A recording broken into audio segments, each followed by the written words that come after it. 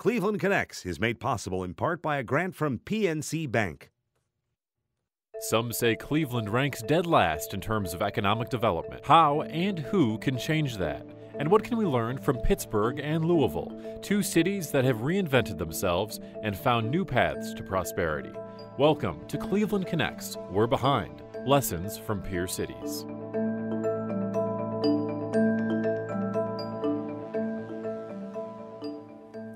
Hello, and welcome to the Westfield Studio Theater at the Idea Center on Playhouse Square.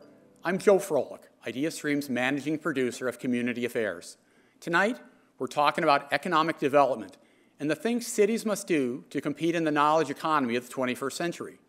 Now, before we dive into that discussion, a bit of housekeeping. If you are watching us live on the web, welcome.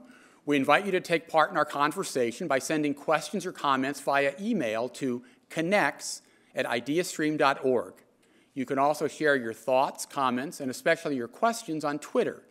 Use hashtag CleConnects. That's C L E Connects. And those of you with us in the Westfield Studio Theater can write questions on the cards you received when you entered. Just pass them to the end of your row, where members of our IdeaStream team will collect them and bring them to me. The financial support to stage these community conversations comes, as it has since we began in 2012, from PNC Bank. And here to say a few words about our collaboration is Paul Clark, Regional President of PNC. Paul. Thanks. Thank you. Thanks, Joe, and good evening, everyone. It's an honor and a privilege to welcome you to Cleveland Connects, a series of conversations presented by Advance Ohio, the plain dealer, IdeaStream, and PNC. And PNC would like to extend our sincere thanks to each of our partners for this very powerful collaboration that we have. One is designed to lead an engaging dialogue on topics that are critical and timely to our community, and to advance and sustain those discussions in a way that hopefully inspires engagement, education, and action. Special thanks to Chris Quinn and Peter Krouse at Cleveland.com and the Plain Dealer Kevin Martin, Mark Rosenberger, and their team at IdeaStream, and the terrific news and editorial teams at both organizations who have done an extraordinary job generating substantive and informative content. Our community benefits greatly from your active leadership and support of Cleveland Connects and so many other programs and initiatives that make our community a great place to live. We have a terrific live audience gathered with us this evening at the Westfield studio here at IdeaStream. And in addition, tonight's program will be streamed live on ideastream.org and cleveland.com. An edited version of the conversation will air on WVIZ PBS on October 30th at 7 p.m. and on 90.3 WCPN on November 7 at 9 p.m. Tonight's topic is focused on Cleveland's economic progress, the impact on the city of Cleveland and the region, barriers that exist, and how Cleveland becomes more competitive in this space. Joe, we're very fortunate to have you as our Cleveland Connects moderator this evening. Look forward to a fantastic discussion. Thanks for helping to shape tonight's program. Thank you. Thank you, Paul, for your support and your leadership on so many issues in our community. So, why are we here tonight? Well, the short answer is that back in June at the City Club of Cleveland, attorney Jon Pinney, one of the architects of the city's winning bid to host the 2016 Republican National Convention, gave voice to a growing sense of unease that Greater Cleveland's Renaissance has lost momentum, that once again, during a period of sustained national expansion and prosperity, Northeast Ohio isn't keeping pace. Now, say what you want about Jon's analysis or his proposals to move our region forward. His message was about as subtle as a LeBron James slam dunk. We're getting our butts kicked. We're dead last or near the bottom in most economic metrics. Our population continues to decline at an alarming rate. Our economy has not evolved into an innovation economy quickly enough. We're still relying on heavy, or heavily on traditional manufacturing, which is subject to major disruption from automation and robotics, ironically enough, probably engineered in Pittsburgh of all places. Despite incredible efforts by so many amazing people who have tried to reverse decades of decline, we just can't seem to break through as a community. Now, there are all kinds of st statistics you can cite to support Pinney's hypothesis or to dismiss it. For instance, if you're an optimist, three months after the speech, the Federal Bureau of Economic Analysis reported 2017 gross domestic product numbers for 383 metropolitan areas. Cleveland has the 28th largest regional economy in the country. We grew 2.9% last year. Our economy is larger and grew faster than Cincinnati or Columbus. It's bigger than Louisville and within hailing distance of Pittsburgh. But regardless of how you read the numbers, here's something that can't be said often enough. In the 21st century, economic reinvention never ends. Every city, every region constantly has to make itself more competitive. There are no days off at this. And that's what we're going to talk about tonight with guests from the front line of economic rebirth in two peer cities, both with long industrial histories and both, like Cleveland, once among America's 10 largest cities. And now it's my pleasure to introduce our panelists. Mary Ellen Wiederwohl is chief of Louisville Forward, a part of Louisville's metro government. Louisville Forward is a one stop shop for economic and community development initiatives, combining an array of public services that help create jobs and enhance Louisville's quality of life. Bill Flanagan is the Chief Corporate Relations Officer of the Allegheny Conference on Community Development and its affiliated organizations the Greater Pittsburgh Chamber of Commerce, the Pennsylvania Economy League of Greater Pittsburgh, and the Pittsburgh Regional Alliance. Mary Ellen and Bill, thanks very much for coming to Cleveland, and thanks for joining us for this edition of Cleveland Connects. Great to be here. Thank you. Um, I want to acknowledge that Bill is a last minute substitute for his group's CEO, Stefani Pashman. After the horrific events of Saturday, Ms. Pashman, who lives near the Tree of Life Synagogue in Squirrel Hill, understandably felt that she needed to stay in Pittsburgh with her staff and her community. Bill, on behalf of this audience, and I'm sure everyone in Cleveland, please know that our collective thoughts and prayers are with you and your city, and we very much appreciate you joining us here tonight. Well, thank you very much. Now, both, uh, one of the reasons that we wanted to, we, we, invited you guys to join us is that both your cities have had, have experienced great success in the past few years. As Peter Krouse reported on cleveland.com and in today's uh, Plain Dealer. We all, everybody likes a good list, and Louisville was just ranked number one on the Forbes list of thriving manufacturing cities. Uh, Pittsburgh was named the best city for job seekers by the placement site Glassdoor. In your minds, what are, some, what are maybe the two or three sort of key things that you've done that have enabled you to enjoy this, this run of success? And Mary Ellen, let's, let's start with you and Louisville. Well, you can't talk about Louisville's story without talking about the fact that we are the only metropolitan area in recent history to merge our city and county governments. And that's made a big difference. And it wasn't without its uh, trials and errors. Uh, there were multiple referendums that failed, including two big referendums in the 80s. And then it took the community coming together in the 90s and some community wide planning events, a consultant report, and then uh, a larger event involving more of the community to say we really needed to get this done. And it occurred uh, iteratively. First, we merged some of the agencies, and then the big vote came in 2000. And the citizens said, yes, we're going to merge our city and county governments. And that's made a really big difference because it allows us to speak with one voice. It's allowed for great efficiencies as we went through uh, the recessions of the early 2000s and then the Great Recession.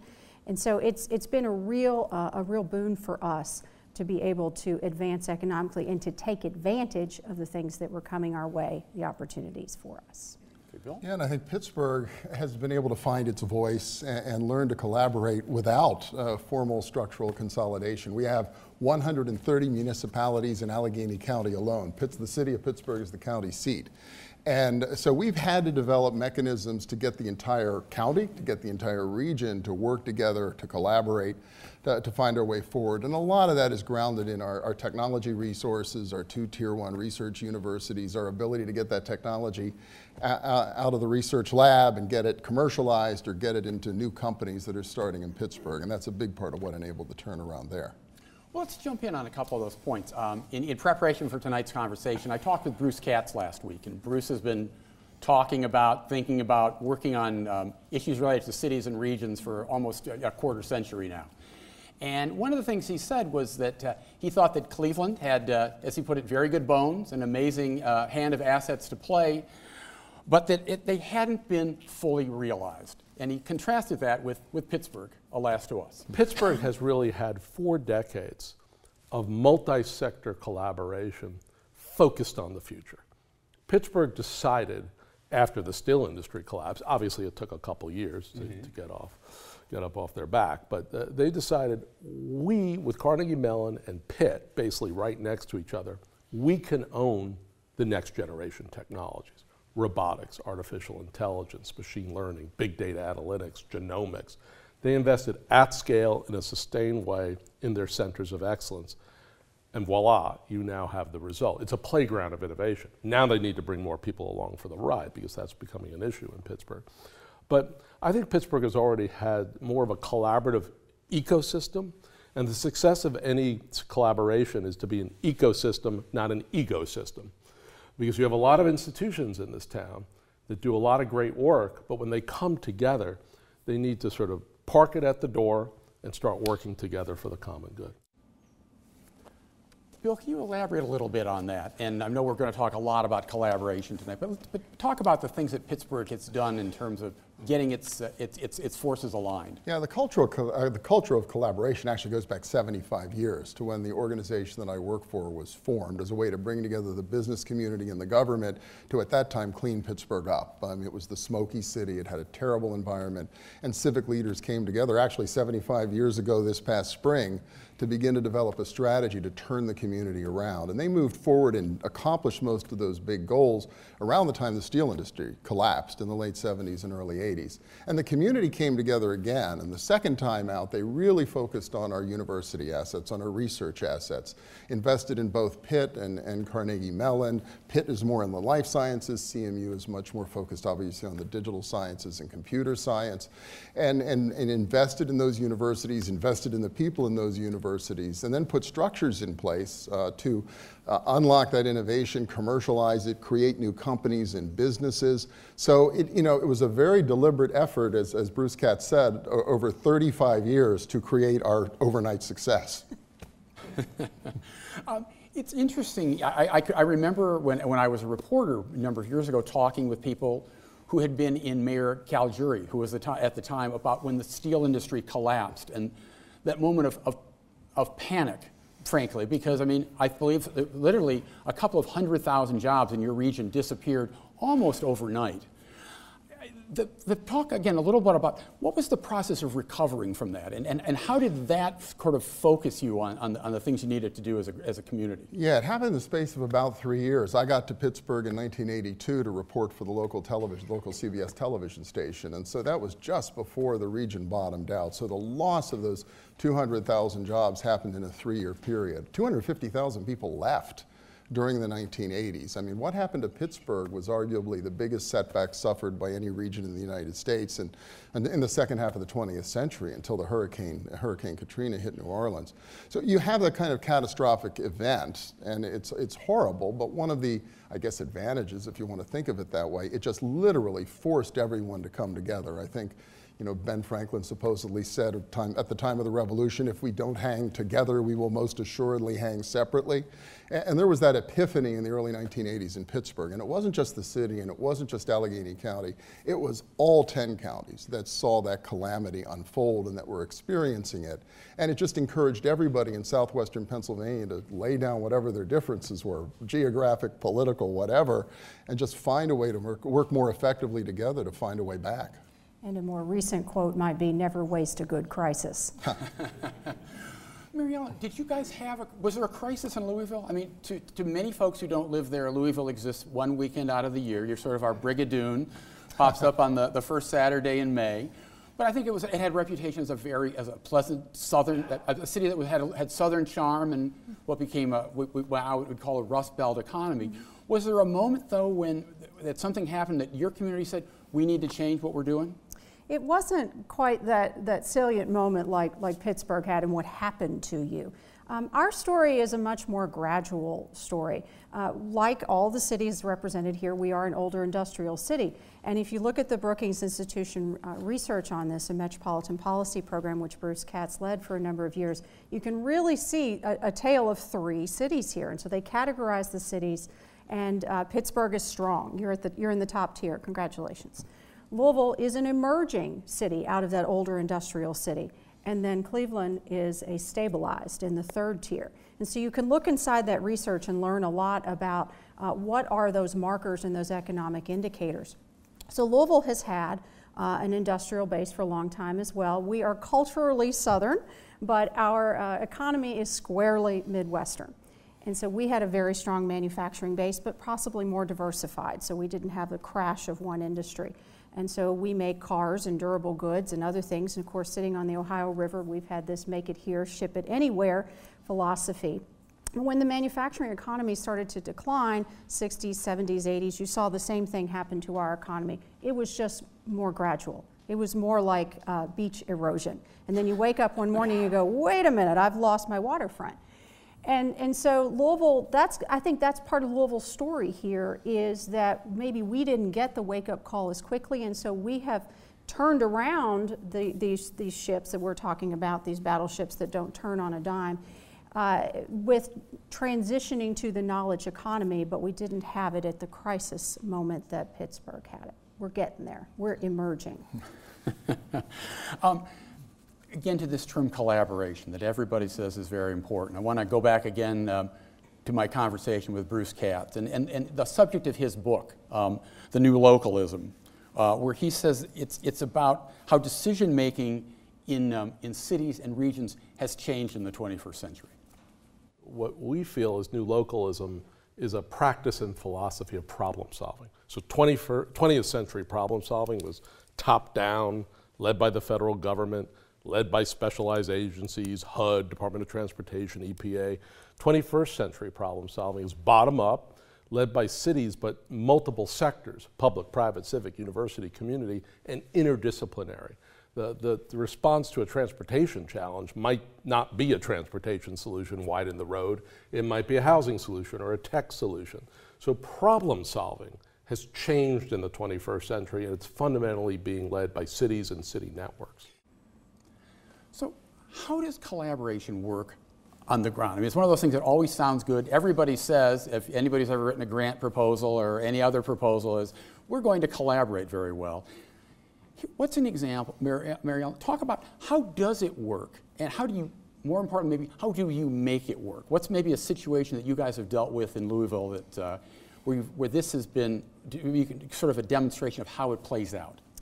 I think it's partly baked into who we are. Uh, we are a very southern, hospitable, friendly group. We get along really well.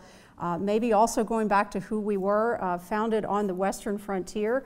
Uh, Louisville was founded uh, in the 1770s when you were floating down on a boat on the Ohio River, or what passed Coming for a boat. From Pittsburgh, Coming from Pittsburgh. We're searching new lands. Uh, you had to stop there in what became Louisville because the only naturally occurring obstruction, the Ohio River, is there, the Falls of the Ohio. So we became a place of portage and ultimately a trading post and ultimately a city. And so I think it's part of uh, baked in, into who, who we are. And so we've had a couple of those moments uh, in our city's history in recent history. One of them uh, was getting the UPS hub. So we started as a river port and now we're a world port. And so we ship all over the world uh, from Louisville, Kentucky. But that might not have happened. Uh, building that facility in Louisville wasn't a sure bet, and being able to expand that facility to meet UPS's needs wasn't a sure bet. And it involved a very brave decision to add a parallel runway to our airport, which displaced a lot of families. But without that infrastructure decision and without everyone coming together and saying this is for the greater good of the community, and in more recent history, uh, there's not an economic developer in the country that doesn't have an Amazon HQ2 story. And so that was our latest test of how well do we work together because that response required one regional response. Amazon didn't want to hear from Louisville and southern Indiana and all the places around it. They wanted to hear from one voice from Louisville, and we were able to quickly provide that as a region. Yeah, P Pittsburgh, I think, as I mentioned, has a culture that goes back 75 years. And uh, the, the, the, business community and government came together to deal with environmental challenges. The other challenge they took on in the 1940s, and they wrote about it, which is amazing when you think about it, in the middle of the Second World War, was someday Pittsburgh may not have a steel industry. And, and they wrote that we need to begin investing in our colleges today so that someday they will invent an economy that can replace steel. They wrote that in the 1940s. So that investment in those universities continued through that time and that culture of working together, primarily business and government in those days, was, was furthered by the success that they had, especially on the big environmental projects. And then in the 90s, uh, there was new leadership at both of our universities, the Dr. Cohon at Carnegie Mellon, and Mark Nordenberg at the University of Pittsburgh. And they got together when they both got their jobs and said, you know what, our universities shouldn't compete we, we can collaborate. Uh, you know, Pitt is very big in the life sciences. Carnegie Mellon is much bigger in, in, obviously computer and digital sciences.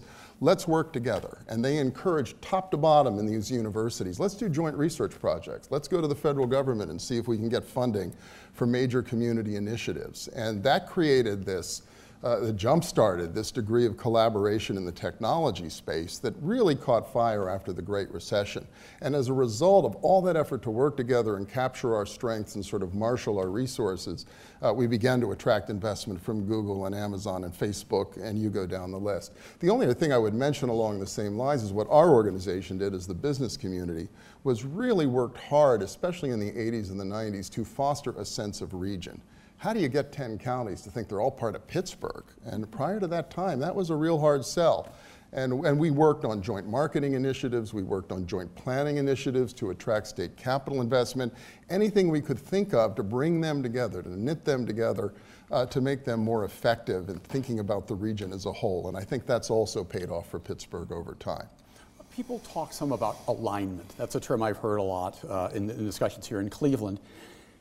Do you, in your communities, do you actually have something you would call a strategic plan, and then you say these are our assets and these how they, how they align with our various our goals and stuff, and this is how we're going to work together? I mean, is it, is it actually work that way for you? Yeah, I mean, just to speak for, for Pittsburgh and the conference, I mean, our organization does a three year plan, and that's typically been our cycle. We're on a two year plan now, but typically three year cycles of really looking at issues and opportunities, talking to our members, talking to our partners in the community, including the city and the county and the, and the nine other county governments uh, to really get a sense of what we should focus on as the business community to move forward. So it's a very, a very uh, structured planning process. We're working now on the plan for 2020 and beyond, and, and that's, the, that's the next phase going forward. Uh, and we've had to do that. We've had to have a way to sort of bring people together to think this through and think about how to move forward. It's one of the ways without having a consolidated government and that kind of uh, approach, uh, we've been able to develop a common purpose and vision to be able to move forward. And I think for us, an important tale would be our economic development strategy, and that for almost 30 years, uh, Louisville and all of the iterations of who's done economic development, how they've done it, had a cluster strategy. And so when you're a mid-sized city, you can't be all things to all people. And so you have to focus on what you can be best at. Uh, said another way, you've got to uh, hunt for what you were meant to kill. Think about that for a minute. But so for us, you got to think about what's good in your economy. So we've talked about manufacturing, it's what we share. Logistics is important to us. Food and beverage is very important to us. Bourbon is very important to us. Not only is it fun, but it's also one third of the country's distilling jobs are in Louisville. Hmm. And then, of course, we also have our lifelong wellness and aging care cluster, which is really unique to us because we have the largest concentration of aging care companies headquartered in Louisville than anywhere. So we're the aging care capital of the U.S. And then business services. And so for many years, we as a community have had joint planning efforts that have surfaced these. Uh, we've used consultants and then community groups to affirm them, and then we've worked this strategy. And if we weren't focused on these narrow areas where we know we can be the best in the world, we might not be as successful. And I mentioned too, the Amazon HQ2 process was also helpful in Pittsburgh. I mean, we have, we do collaborate, it's part of the culture, but that really forced everybody to step up in a very short period of time to uh, to understand our, our strengths, understand some of the challenges we'd have to overcome to be considered, and, and, really unify the place. And I think going forward, having been through that process of trying to structure that bid and, and then being selected as one of the 20 cities that, that Amazon's considering, I think that's going to give us a stronger sense of purpose and an ability to collaborate going forward as well. Mary Ellen, can you talk a little bit more about the, about the clusters and, and being, focusing on the things you're good at? Because when we, had our, when, we, when we talked before, you said something I thought that was really interesting in, in that it, you said it gave you the power to say no. Mm-hmm. What do you mean by that? Well, you'll get people coming to you all day. When, you, when you're an economic developer, yes, you go hunt, but you also play catch, okay? And so you have to know what's going to be right for your community. And, and what you're going to be best at. And that's best at based on what's in your talent pool, uh, what available real estate you have. Sometimes your real estate might be friendlier to one kind of thing or another. Uh, and so you're able to say no to things that don't make sense for your community. And, and we've done that. The other thing that uh, is inherent in this economic development work is thinking about what kinds of jobs. I think for a long time in our work, and maybe across this country, uh, you know, any job was a good job. Let's create more jobs, jobs, jobs. And there is absolutely value in all work. But when you're an economic developer, you have limited resources and limited time, and you have to go after that which you know is going to be best for moving your community ahead. And so we've had a very deliberate attention now for the last several years on raising our median wage. Uh, our wages have fallen slightly behind where we want them to be. And so there's lots of strategies that go after that. You've got to increase your educational attainment, but also spending your time on what's actually going to raise that wage. Uh, and so, you know, we don't want to spend time on things that are going to keep pulling down that wage because ultimately, if you don't have a higher wage, a family supporting wage for your economy, you're going to see that beget other problems in society and your community. Yeah, and Pittsburgh's followed a very similar path in terms of trying to figure out what are we really good at mm-hmm. and, and, how can we capitalize on, and then what are those sectors we already have that have the potential to create jobs but create well-paying jobs. So for us, it's it's the three things we've always done well. We've always made things. We've always made energy to make things, and we've always financed the making of things and, and the making of energy. So it's advanced manufacturing, it's energy production, uh, and then it's banking and finance and law and accounting and that whole sector. And then you can use those foundational uh, sectors and those foundational strengths to invest in new ones. And so for Pittsburgh over the last generation, it was healthcare and the life sciences, you know, placing a big bet on growing that sector. And then the other piece was information technology, robotics, which has led us into artificial intelligence and machine learning. They were present a generation ago, but they were in their very early stages. And so we focus on those five sectors. Now, if the phone rings and somebody from another sector is interested in Pittsburgh, we're certainly not going to turn them away or not work with them. But when you talk about how do you focus proactively your marketing strategy, where you're going to invest your resources, I think we, we have the same approach that Louisville mm-hmm. does. One of the things that, that Bruce Katz talked about was how um, that you have many more, you have a lot of players at the table. You have government, you have the business community, you have uh, universities, you have foundations, you have other important players. Do you find that when you do that, that at certain points in time, so one sector may take the lead, uh, as a, and, and, another time maybe they're, they're, they're like the secondary, they're the support one? And how do you figure out who takes the lead? Well, uh, this business is a team sport. So uh, pick your favorite sport. we we are we're still in football season, and for us, we're really glad to be moving into basketball season. Uh, and, and you know, who's got that ball and who's, who's playing what post? I mean, sometimes you're the assist and sometimes you're the scorer, sometimes you're the point guard, sometimes it's all about the center making the dunk. And so you got to know who's playing in, in what seat. And I'll, I'll, say that also about how you organize economic development in your community. We were talking a little bit about this because we're organized a little differently. And you'll find different organizational structures in different cities, whether it's the private sector at the lead, the public sector, or a joint partnership. There's no right or wrong answer. You have to figure out what's right for your community based on who's sitting in those leadership roles in your community at that time, because everybody's got a role to play on that team. I'll take the football analogy. Please fair, don't boo. Fair. Sorry. but um, I think we take turns playing quarterback. I, I mean, everybody's on the we same team in, in Pittsburgh. Too. Well, yeah. At least when it comes to economic development, we okay. seem to have more consistency on the field. But, uh, you know, historically, as I mentioned, it was sort of business and government. What's happened over the past generation is, is really the growth of the foundations. And Pittsburgh is blessed with an extremely large uh, center of foundation assets and philanthropies. And they've increasingly provided leadership and, and almost set a very high bar for the rest of the community in terms of what they expect the standards that we need to develop by. Uh, and then the other sector that's really risen into, into prominence and into, into, leadership is sort of the eds and meds, you know, the universities and healthcare as a sector. And, you know, both of them, eds and meds historically, they trained workforce, they kept us healthy, but they weren't necessarily making the big leadership decisions in the region if you went back a generation. And the foundations were writing checks, but they weren't necessarily saying, no, we have We want to set some direction for this community. And so what we've seen over the last 20 or 25 years is really all four of those sectors at any given time might be playing quarterback. But everybody's still willing in Pittsburgh to come to the huddle and talk about what the play is going to be. And once we've decided, then, then we're willing to either you know, be part of the team or, or, or actually execute the play. And, and I think that's a really important part of the culture in Pittsburgh as well. Um, when I was, uh, again, in, in, the prep for this, I, I, I looked at the, obviously, you know, your websites and stuff, and when I looked at, um, at yours, at Louisville Forward, one of the things, I, I, first I thought, well, this is a Chamber of Commerce, because it was, it was the type of stuff that you would expect to see there in terms of sites, and this is what's available, and these are our, our assets and stuff. And I realized that you were that you're the government, that you were part of the, the mayor's office, Mayor Fisher's uh, chief economic development officer, in effect. Um, and you said you thought that was a nice compliment. You were glad to hear that. But how has the, let's go back to this idea of, of, of what you did with, uh, with, with combining, merging the city and county. How has that enabled you to compete differently? And then also, when related to that, is you go, you cross state lines. Your metropolitan area, whereas, you know, it's 10, you're 10 counties, but they're all in, in one part of Pennsylvania. You have two states to deal with. But how is, how is, how is the way, the merger, how has that affected you in the reorganization of government? So in economic development, you have to speak one language, and that is the language of business. So they know that your government, they ultimately want your tax incentives, and they want you to expedite your zoning entitlements, your permits, and all that. You've got to work at the speed of business and speak business. And so the fact that you saw our website and thought, in your own words, it spoke to business was a huge success for us.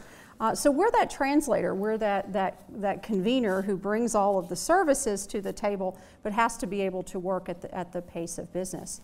And it does get interesting for us in, in a bi-state region. And there are many examples of bi-state regions across the country that don't work well together.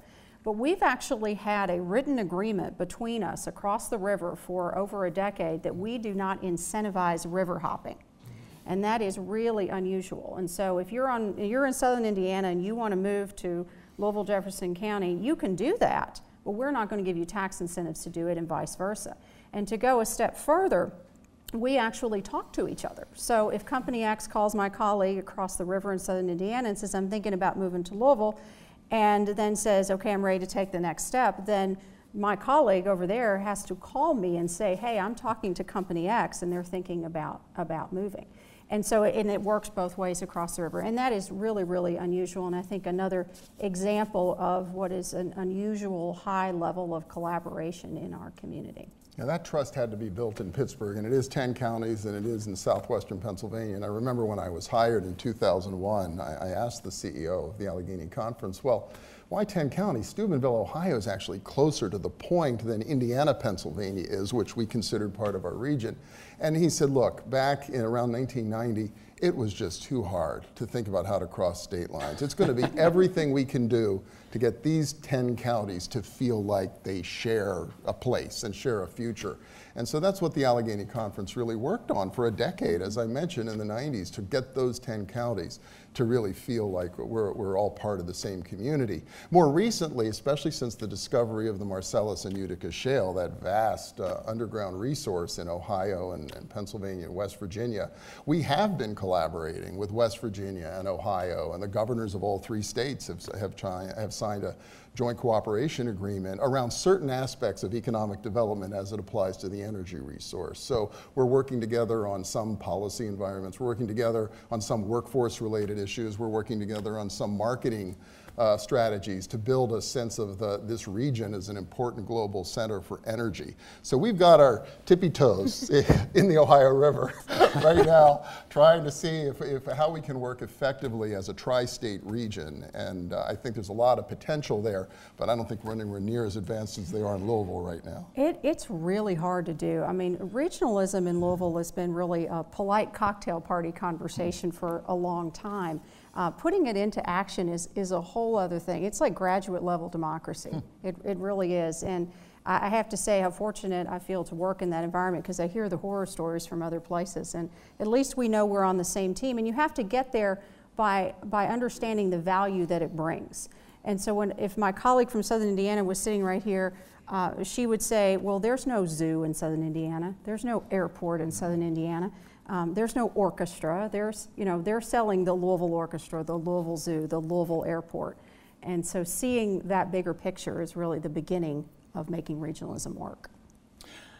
Um, we had, we had, there's a number of questions from the audience that deal with, um, with, with, with workforce development and making sure that you have the workforce that you need for the future and, and training people for the, for the kinds of jobs. Because if you figure out, here's our clusters, well, part of it, the, it seems to be unspoken thing to the people you're marketing to is, and we can deliver the people who can work in those jobs if you, if you help, if you come here and create them here. Um, I want to talk, again, go back, uh, one last thing from, from, from, from Bruce Katz, who particularly, he was talking about one of the things he, he really admires about what you're doing in Louisville on the, that, that talent development front. What Louisville is beginning to perfect is cradle to career. How do we begin to invest uh, in the early life cycle of children?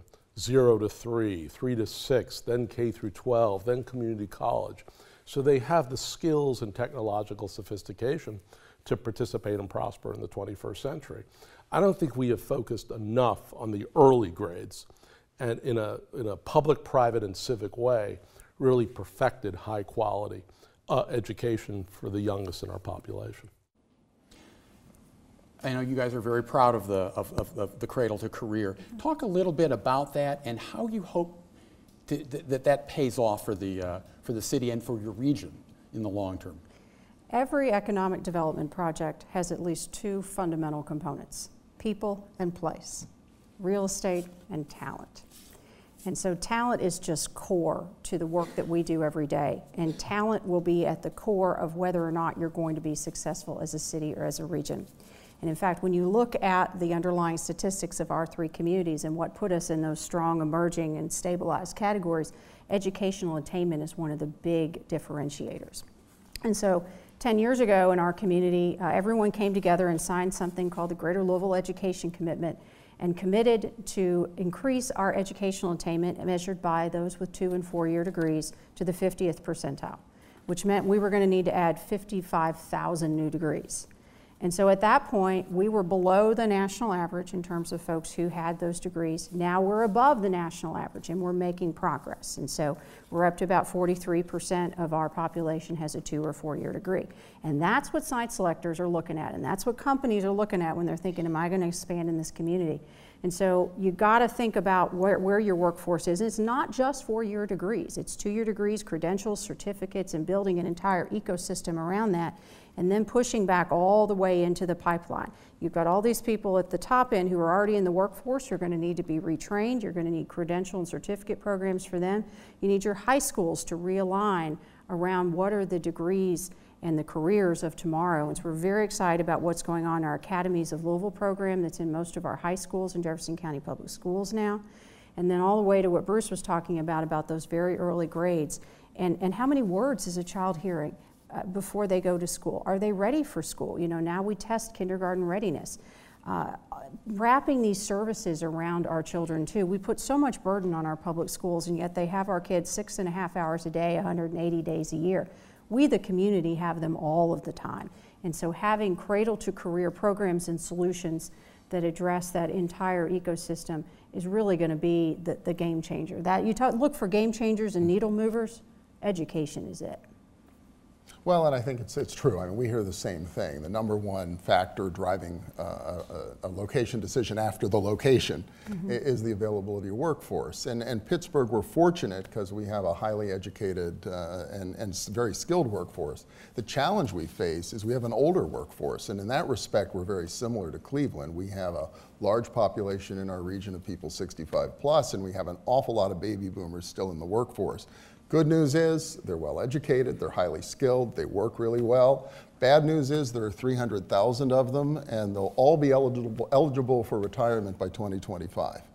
Uh, and that's about 22% of our workforce. So we have a significant challenge uh, to fill that pipeline and make sure we can replace that workforce with, with competent people who are ready to take over basically over the course of the next decade or so.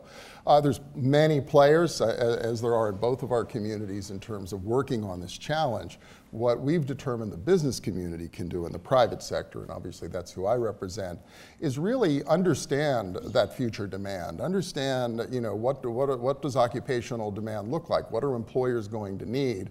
And do we have a sufficient pipeline? So we actually took a 10-year forward look at, at uh, occupational and industry and sector demand across all across the entire southwestern Pennsylvania economy uh, to really identify where are the hotspots and where are the mismatches.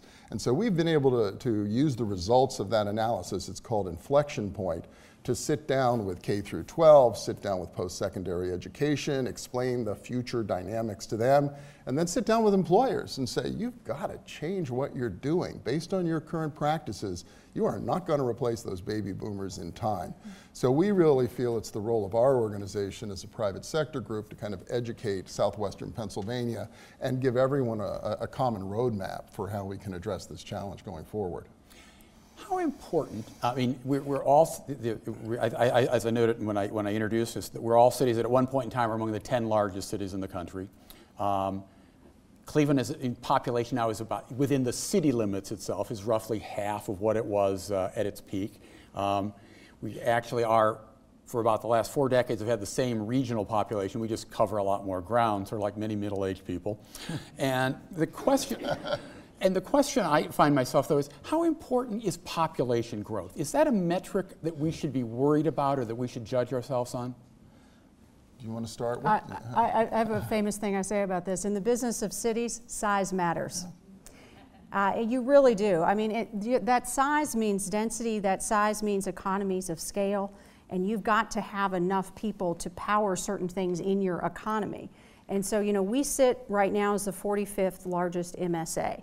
And pretty much when you drop out of the top 50, yeah, you, you, get, you can get irrelevant pretty quickly. When you think about who we see on the uh, sports channels on the weekends, that's your top 40 usually. And so it really does matter how many people you have, and I don't think there's a community in the country that doesn't have a talent attraction initiative right now. We've got a big one. We're really happy to be on the top 15 list for millennials to move to because we need you. We love millennials in Louisville. Come to Louisville. Don't leave Cleveland, though. so Cleveland yeah. needs you too. We want to poach from the south and the west, bring them all up right, our yeah, way. All, right? all of those southeast and sunbelt uh, millennials come on our way. Beautiful four-season weather. It's great. It's great here in the Midwest. Yeah. and population. I mean, we're we're spending a lot of time thinking about that because Pittsburgh and Cleveland are really two of the outliers in the United States in terms of the sheer size of the populations we have that are 65 plus. And, and in a lot of ways, it's wonderful. It adds a lot of stability to both of our economies. But at some point in the future, if we don't find a way to replace them, if we don't find a way to attract more people to our communities, we are uh, going to run into challenges. Just keep it, just sustaining our economies and sustaining the vitality of our communities. Uh, for Pittsburgh, the good news is in recent years we've stabilized. So although we're slightly, depending on the year, we might go up or down a little bit we're largely stable. But we've got to do a lot more, both to replace the retiring baby boomers and make sure we can sustain the economy at that level, and in the long run, you know, sustain the overall uh, size and strength of the population, because that that helps pay for all the wonderful assets we have, whether it's a great symphony orchestra or a terrific zoo exactly. or, you know, name it, your wonderful parks. Or, uh, you know, we need people to be able to do that, and, and uh, we've got to solve that problem going forward, that challenge. A lot of the questions that we've, we've got from the audience have, have, have, kind of revolved around the theme of, of inclusion. Um, in particular, it was an idea that, that Bruce Katz referred to, I think, in the first one where he talked about Pittsburgh, was that uh, about extending the prosperity to people, particularly African Americans and other minorities who haven't enjoyed the, the, the, fruits of prosperity. I mean, that's the problem, I think, in all of our cities. How important, from your, where you folks sit in, in government, in the private sector, how important is, is that type of inclusion, of making sure that we can grow the pie and bring more people to the table to participate in what we're doing, but also just to enjoy, the, uh, enjoy that success? Increasingly important for Pittsburgh. You know, for many years, and, and I worked as a reporter for 20 years before I got my, you know, my current job, and for almost all that period, number one job for elected officials for government was create jobs. You know, we, we got to create enough jobs to put everybody back to work. That's all what the focus was, right? It wasn't the quality of the job necessarily. It was Jobs, just jobs, jobs, jobs. jobs, jobs, mm-hmm. whatever any of us can do. What we found around 2011 was the sentiment in Pittsburgh started to change. And I think maybe coming out of the Great Recession, we did better than many other places in the United States. And when we surveyed our members, all of a sudden they started saying, you know, we're doing pretty well right now. It feels pretty good. On average, it's looking great. But we look around town and we can see there are people and places that have been left behind. They're just, we didn't bring everybody along with us. So that became more and more of an imperative for us as a private sector organization to really think about that. One, one of our members even asked, you got to put the word community back in your name, the Allegheny Conference on Community Development. How are we going to come to grips with that? So when we retooled our most recent agenda, it's literally, to give it a title, Creating a Next Generation Economy for All. And we're following the lead as well and working very closely with Mayor Peduto of Pittsburgh, who says if it's not for all, it's not for us. And, and I think that's beginning to really pervade all of our thinking about how to do economic development, how to grow po- a population, and how to provide opportunity going forward. Inclusion is not a social agenda, it is an economic imperative. If people in your community are systemically left behind, your community will ultimately be left behind as well. And as older cities, we are all struggling with the decades throughout the 20th century of strategic disinvestment and discrimination and overcoming those and breaking up pockets of poverty. And so we've had a very deliberate focus around this. Uh, when we looked at that uh, data we get every September from the American Community Survey, it's kind of like Christmas morning for the data geeks. And, and we were looking at how well the city was doing. And, and all measures, we were doing great a few years ago, except for one. Our African American population was not enjoying the prosperity that was coming to the rest of the community. And so there's been a lot of deliberate effort around that. I'm proud to say in the last couple of years, we're seeing that, that turn around some. Uh, but we still have a lot of work to do, and, and that goes again to decades of discrimination that manifest themselves then in under uh, achievement education, uh, lack of access to education, lack of access to health care, and other supporting things. I mean, all of these um, data points align directly with education. A little bit like a broken record here. But if you, if you take care of that part of your community, um, then, then everybody will, will do well. If you take care of your educational system and you make sure everyone has access. And to understand that equity and equality are two different things. We've achieved a level of legal equality in this country. We have not achieved a level of economic equity in this country, and we have a lot of work to do to get there. Yeah, in Pittsburgh, we're un, un, still undoing some of, I talked about the wonderful things they did back in the 1940s and 50s to clean up the environment and did this incredible development in the core of the city called Gateway Center. But the other things they did were literally bulldoze uh, yeah. neighborhoods, largely African American, without creating enough new housing to uh, give everybody a place to live. And so that community uh, became scattered.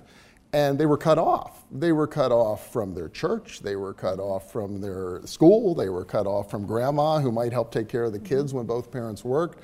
They were even cut off from public transportation. And so we've looked at the region in recent years and said there are, there are places in Pittsburgh where you cannot get from where you live to where you might get educated or trained to where you might work without three bus changes and two hours of commuting. And so there's a lot of attention. And of course, is, there sufficient affordable housing in certain neighborhoods given the growth in the tech sector? Uh, to give people a place where they can stay and where they can continue to participate. So I think one thing we've learned is that you know uh, the, this urban transformation is not a real estate problem. It's, it's a community issue. And how do you preserve the fabric of communities and how do you continue to give people opportunities to connect uh, into, into, the, the, into the community and into that opportunity. And that's, I think the good news is in Pittsburgh, it's front and center in our thinking. I'd like to be able to tell you we've solved it and we've got it all figured out but I think everybody in town is really thinking hard about how to move forward in a much more constructive fashion. And I'll say related to that, that affordable housing is one of the major issues that will face all of us. Uh, I think we're already talking about it in all of our cities, but it's going to be a major crisis point, uh, particularly as our economy continues to leave certain people behind. Uh, and of course, it's very expensive now to build housing, any kind of housing, single family or multifamily. We have to address that. And that these are issues we need to lean into. Um, the horrific stories of redlining Uh, you can look at those stories now on a Louisville map. There's a story map that you can learn about that and understand why certain things happened in our city. And, and each of our cities has a story like that that we need to first understand that truth from which we can seek the reconciliation that will take us forward. What is, is, what's the one key metric that you use to gauge the success of your, reg- of your respective regions? What's the thing that, that, you, that you make sure you watch maybe the, the closest? Well, I mean, we're actually uh, currently developing a set of metrics uh, that we can really use to establish a baseline for our region and to, and to, measure our progress going forward. One is economic performance, overall economic growth. And, uh, and, you know, Pittsburgh is not at the top. We, we regularly benchmark ourselves against 14 other metros in the United States, and, and we've been doing it for 25 years at this point and, and we've been able to see where we stack up well and where we, where we don't do as well. So one of the measures we pay attention to is overall economic performance. Another measure that we're looking at very closely now is economic inclusion. How are we doing on this issue of disparity, especially African American and, and, and the white majority? And, can we do better there? We're looking at measures that might, uh, might look at uh, sustainability as a measure. Uh, you know, the broader, the broadest definition of sustainability is everybody participating. It's not just the environment. Um, so we're developing those metrics, and, the, and uh, the plan is as we go into next year to really operate against that baseline and see if we can measure continuous improvement across the region. Similar to Pittsburgh, we've had a long-standing record of measuring against peer cities also. Our effort is called the Greater Louisville Project. And so the lesson number one is don't just compare yourself to yourself, mm. compare yourself to your peers and who your competitors are. Uh, also, things to steer clear of. Uh, worry less about the unemployment rate. Everybody gets all jazzed about that every month, and it's interesting to watch, but you have to watch it over a trend line. A few percentage points don't matter, and once you drop below 5%, it's, you know, you're good times. Just enjoy that. Uh, but I'll, I'll echo uh, some of what you said as well. We're tracking, tracking the uh, median wage.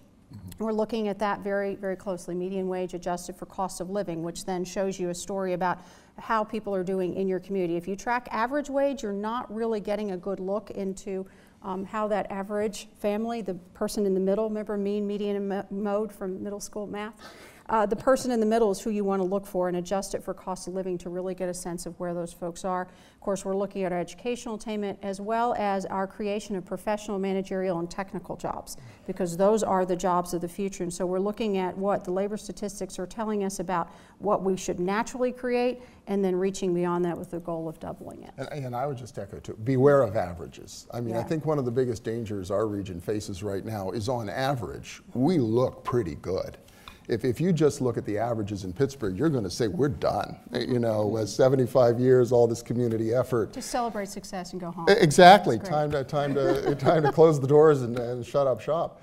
Um, but the reality is you got to go inside the averages. You got to look at the median. You got to look at the disparity. You have to look at particular places and particular populations to understand the real story and what the real work is.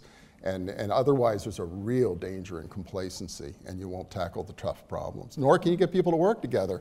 Back to a wonderful thing to have a crisis or a really measurable challenge for the whole community to measure, uh, to rally around. If you don't have that, uh, I, I, in the long run, you're going to pay for it. Um, we're, we're very close to the, the end here. I want to ask you a quick, quick, quick question here. Um, both of you, in terms of, of what you you, do, is you talk a lot about placemaking and quality of life. What's maybe the most important thing you guys, each of your cities has done in the last decade or so that's, that's changed your community for the better, particularly on that, that quality of life basis? Cleaned up our waterfront. we have a beautiful waterfront now. It's an 85 acre park that is the front lawn for the city of Louisville, and we're getting ready to extend it and add another 22 acres and part of a vision to have 15 miles of usable riverfront in our city. Game changer for the city. Yeah, well, I, I, would second that. For most of its history, Pittsburgh turned its back to our rivers. They were highways and sewers. that was really what they were for. And then starting in the 90s, about 25 years ago, we been, began to embrace the rivers, began to build par linear parks along the rivers, bike trails. I would say the other thing Pittsburgh has really focused on is using arts and culture as an economic development strategy. And almost as a loss leader, to go into communities where nobody wants to be. Let's put a museum there. Let's put a new performing arts uh, uh, venue here. And let's get some people into these communities. Let's get them into these neighborhoods. Let's create some vitality. And I think Pittsburgh, whether it's downtown, the north side, uh, out in East Liberty in the East End, I think you can see these examples all over town of how we've been able to leverage arts and culture to add vitality and, and, and really provide hope into some of these neighborhoods as well. Protect your downtown. You mm. can't be a suburb to nowhere. Protect your downtown and uh, your edge neighborhoods. Invest in multimodal. Uh, these millennials we're all trying to attract, guess what? They're not all going to own a car. Uh, embrace bikes and scooters and other things like that, even if they test us and all of our systems. Um, but uh, there's, a, there's a vitality in, in your place. I once had a site selector say to me when we said, you know, what, what, what's the worst advice you ever had to give a community? And he was truth telling, and he looked at that community. I'm glad to say it's not any of us. And he said, You have an ugly downtown. Mm. No one's ever going to come here. So uh, focus on a place you'd want to be and how would you make it better. And guess what? Other people will have the same feeling and want to be there. Well, as I say, nobody ever goes to visit another community and says, Take me to your suburbs. Right. And, and you'd mentioned investing in, in, maybe places that, uh, that have been left behind. Uh, and I think with, with, regard when we talked about Louisville, one of the things with the extension of your, your waterfront park, aren't you moving into the West, what's West Louisville? Correct. West Louisville is, is our area of the community that uh, was discriminated in and disinvested in for so many years. A huge part of our city, 12 square miles and nine distinct neighborhoods. And of the $13 billion of new investment we have going on, a billion of it is going into West Louisville right now. And, and so building that back and protecting um, the heritage that is there and helping to provide new opportunity there, and also guarding against the G word, gentrification. Uh, and, and a nicer way of saying that is having investment without displacement. And so these are very, very deliberate things. These are the things that we work eight days a week on. We laughed and looked at each other when you introed this about you know working overtime and all the time on these efforts. Uh, we've got a lot of making up to do, but we're very excited about what's going on in West Louisville. Yeah, last thought, we've got about 30 seconds. Yeah, only that we're seeing a lot of the same kind of dynamic unfolding in Pittsburgh's East End around our universities. Literally billions of dollars of investment right now. And so, front and center in everybody's mind is how do we accommodate this growth? How do we attract this kind of investment? But how do we not lose the character of Pittsburgh? And how do we not lose the communities that make it such a special place? Great. Well, thank you very, very much. Um, that's going to conclude our discussion, but before we wrap things up, I want to thank our panelists, Bill Flanagan, Chief Corporate Relations Officer of the Allegheny Conference, and Mary Ellen Wiederwohl, Chief of Louisville Forward. Cleveland Connects is a partnership between IdeaStream, Cleveland.com, and PNC Bank. If you'd like to know more about tonight's topic, I invite you to visit our websites. Go to ideastream.org and cleveland.com for in depth coverage in the weeks and months ahead of this important community conversation about our region's future. I'm Joe Frolik. Thanks for joining us and have a good night.